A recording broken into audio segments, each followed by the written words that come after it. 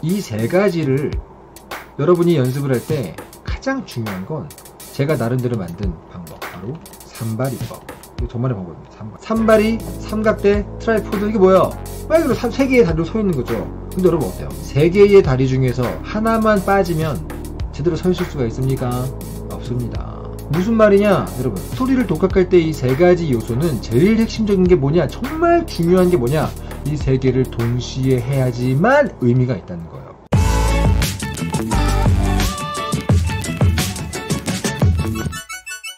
다들 한 번씩은 해보세요. 기존의 작품을 따본다, 분석한다, 이게 뭐냐면, 영화나 작품, 드라마 틀어놓고, 그냥 몇 분 몇 초에 무슨 일이 벌어졌다, 다 적는 거예요. 아주 간단하죠? 그게 무슨 의미가 있는지 이따가 말씀을 드리겠지만, 그냥 적는 겁니다. 모작을 하면, 막연합니다. 내가 지금 뭐 하는 건가 싶어요. 두 번째, 이론. 작곡서를 봅니다. 이해가 안 갑니다. 3번, 창작. 내 스토리를 써요. 어떻게 되죠? 막힙니다. 이 세 개를 여러분들이 각각 하나씩은 연습을 해본 적이 많은데 왜 동시에 세 가지를 해야 하는지를 설명을 드릴게요.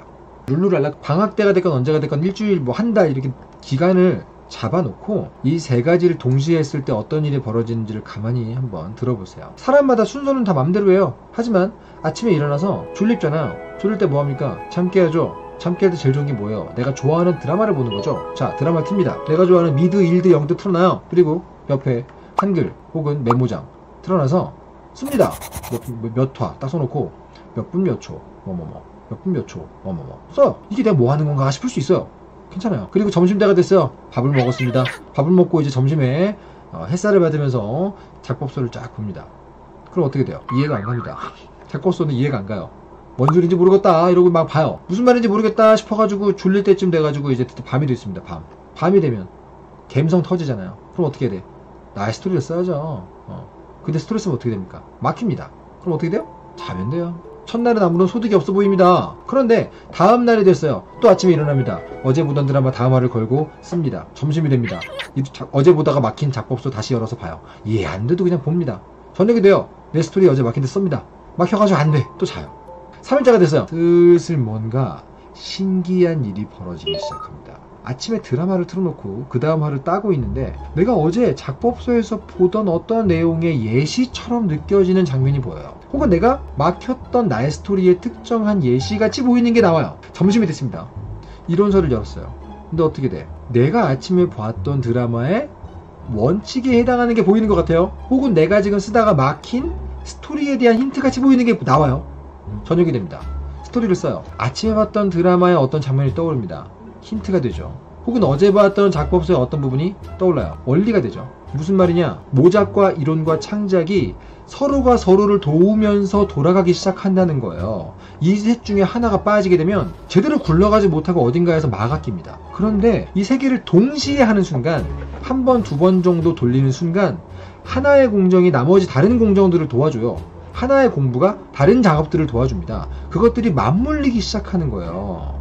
그때부터 내가 모작하면서 배웠던 어떤 예시가 이 작법서의 이론의 이해를 도와주고 그렇게 이해한 것들이 저녁에 창작할 때 한번 쓰여지게 되는 거죠. 이 세 가지가 함께 돌아가는 순간이 굉장히 중요합니다, 여러분. 룰루랄라 정말 중요하고 요거는 그래서 여러분들 잘 모르셨던 분들은 날 잡고 기간 잡고 이 중에 하나만 뽀개자 이러면서 작법서를 파거나 이런 경우 많은데 그런 경우는 효과가 없진 않아요. 하지만 그 시너지가 너무 안 나기 때문에 내가 100 정도를 공부했어도 한 10이나 5 정도를 느끼는 그 효율에 문제가 생깁니다. 이 세 가지가 맞물릴 때 이문현님 맞물리기 시작하는 걸 느, 느낄 때 엄청난 쾌감이 있겠네요 하셨는데 장난 아니에요. 어이가 없네 내가. 2007년에 이제 대학을 졸업하고 2008년부터 데뷔 준비를 하면서 스토리 쪽을 어떻게 할지 공부를 한창 하다가 아예 마음을 잡고 알바도 끝내고 한 반년 정도 이걸 한 적이 있어요. 그 솔직히 여러분들 한 3개월만 해도 돼. 그리고 감을, 감만 잡고 싶다? 한 달 정도만 잡고 드라마 시리즈 하나, 작법서 한 권, 내 단편 하나에 묶어서 한 달만 돌려보세요. 그러면 이야기의 원칙과 나의 실전 창작과 이미 잘 만들어진 스토리의 분석 세 가지가 돌아가기 시작하면서 무시무시한 쾌감이 나옵니다. 정말 엄청나게 도움돼요. 이거 한 번 해보면 무슨 말인지 알아요. 안 해보시면 진짜 무슨 말인지 몰라요. 반년 정도 하면 어떻게 되는지 아세요? 스토리를 위에서 내려다보는 전체적인 어떤 시선, 스토리를 한 방에 보는 조망하게 되는 앵글이 딱 나옵니다. 석 달도 뭐야? 한 달만 이렇게 돌려보시면 폐관 수련으로 훌륭합니다. 스토리에 대해서 굉장히 많은 것들을 눈을 띄울 수가 있어요. 룰루랄라. 이거 그 당시에 제가 반년 동안 했던 것들 모아놓은 거 한번 보여드릴게요. 이거를 왜 보여드리냐면 이게 반년 정도 한 거예요. 초반부에는 굉장히 허접해요. 제가 예전에 초반에 했던 건 굉장히 허접해요. 이런 것들 어떻게 하는지 몰라가지고 그냥 이렇게 대충대충 써놓은 거예요. 이렇게 그냥 이, 이- 이런 수첩에다가 그냥 써놓은 거예요. 몇 분 몇 초 무슨 일이 벌어졌다 이렇게 간단하죠? 별거 아니에요. 진짜 별거 아닙니다. 초반엔 이러다가 나중에 가면 점점 정리를 해가지고 굉장히 많은 것들을 했는데 이때 하얀 거탑 20화 간단합니다. 네, 몇분 몇 초에 무슨 일이 벌어졌다 이런 것도 그냥 적는 거예요. 간단해요. 시간 쓰고 종이 쓰고 시간 쓰고 내용 쓰고 간단합니다. 이렇게 이렇게 이렇게. 자, 이거 왜 하냐? 시간을 쓰고 무슨 일이 벌어졌는지를 가만히 적다 보면 그것들을 쭉 하다 보면 나중에 어떤 방향으로건 분석하기 위한 소스가 돼줍니다. 소스가 돼줘요. 그렇게 하고 나서 마지막으로 공통 형식을 만들어가지고 이렇게 방금 전에 내가 썼던 것을 표 안에 넣는 거예요. 표 안에. 네. 이렇게 몇 분 몇 초에 무슨 일이 벌어졌다.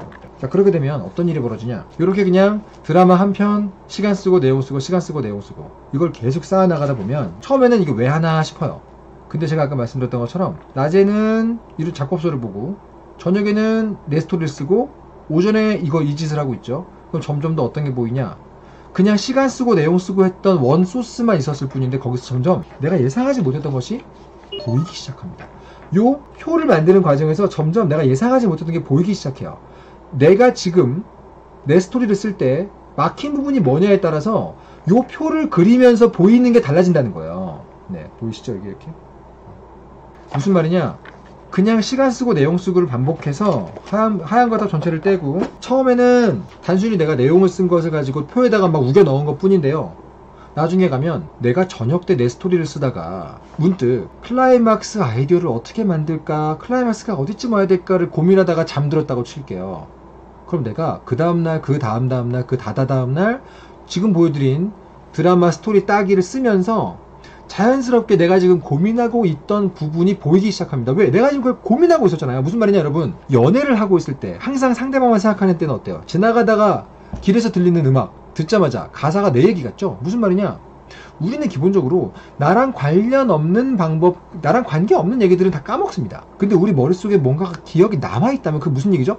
지금 나에게 중요한 문제이기 때문에 기억이 남아있는 거예요. 여러분 그거 아시죠? 원래 인간의 뇌는 뭘 듣자마자 10분이 지나면서부터 까먹기 시작하게 되어 있습니다. 그 우리 뇌의 기본적인 생태예요. 오랫동안 기억하고 있으면 생존에 불리하기 때문에 빨리 까먹어야 돼요. 근데 우리는 왜 자꾸 까먹을까를 고민하는 게 아니라 역발상을 해보죠. 우리는 무엇을 기억할까를 고민해보세요. 뭐가 기억에 남죠? 지금 내가 중요하게 생각하고 있는 것들이 기억에 남습니다. 내가 지금 중요하게 생각하는 부분은 지나가다가 얼핏 본 간판에서도 힌트를 얻게 되어 있습니다. 내 머리가 계속 그 생각을 하고 있거든요. 따라서 내가 지금 스토리를 쓰다가 막힌 부분이 클라이막스는 어디쯤에 넣어야 되는 거야? 혹은 클라이막스 아이디어를 어떻게 짜야 되지? 라고 고민하고 있었다면 하얀 거탑 20화를 그냥 스토리를 받아 적는 와중에 그게 보입니다. 아, 이렇게 넣는 거였어? 그리고 그 저- 그날 점심 때 이 작법서를 보다가 클라이막스에 대한 어떤 언질이 나오면 바로 캐치를 하게 되죠. 왜? 내가 지금 고민하고 있는 부분이기 때문에 그렇습니다. 내가 스토리를 쓰고 있는데 처음에 아무것도 모르고 썼다가 나중에 점점 더좀 대충 눈에 보여가지고 구성에 대해 고민을 하기 시작했다고 칠게요. 내 이야기가 약간 구조가 약간 애매한데? 이 구조나 구성에 대해서 나중에 여러분 우리 궁극 시리즈의 팟캐스트에서 말씀드리겠지만 아, 내 이야기가 지금 약간 3장 구성이 안 맞는 것 같아. 3장 구성 어떻게 하는 거지? 도저히 감이 안 온다. 그때 여러분들 다음날 뭐 하얀 거탑 7화 따고 있죠. 갑자기 아래쪽에 이상하게 보이기 시작합니다. 왜 나는 언제나 전체 플레이바 중에 4분의 1점이 됐을 때 비슷한 걸 보는 기분이 들까? 그때 갑자기 내가 지금까지 땄던 것들을 다 뒤져보게 되죠. 무슨 말이냐?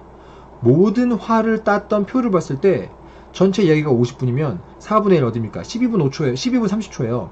12분 30초 맞나? 맞다고 치자. 맞다고 치죠 뭐. 아니 아닌가? 50을 4로 나누면 4, 1은 4, 4, 2, 8, 4 맞네. 12분 30초 부분마다 되게 비슷한 사건들이 벌어진다는 걸 눈에 딱 들어오게 됐어요. 이게 3장 구조인가? 그럼 내 이야기도 전체 스토리를 4등분해서 4분의 1점에 이런 비슷한 사건을 넣어보면 되려나? 이런 방식으로 보이는 겁니다. 무슨 말이냐? 그냥 작법서를 보시면 3장 구조, 뭔 소리요? 이러고 넘어갈 수 있어요. 근데 내 스토리를 쓸 때 3장 구조가 고민될 때 자- 이미 잘 쓰여진 스토리를 따고 있다면 그리고 작법서의 3장 구조를 보고 있다면 3장 구조가 뭔지를 대충 눈으로 보게 된다는 거죠. 이게 진짜 독학이라는 거예요.